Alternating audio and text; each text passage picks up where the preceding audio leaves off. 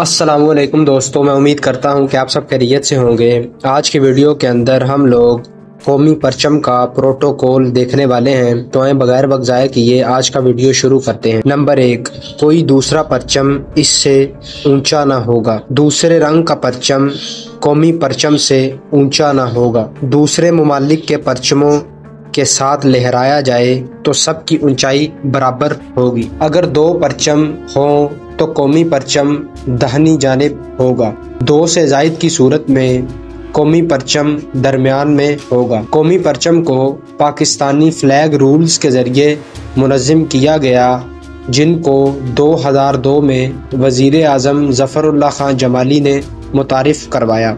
तो ये था हमारा आज का वीडियो, जिसके अंदर हमने फ्लैग रूल्स को डिस्कस किया। मुझे उम्मीद है वीडियो आपको अच्छा लगा होगा। नेक्स्ट वीडियो तक के लिए इजाज़त दीजिए। अल्लाह हाफिज़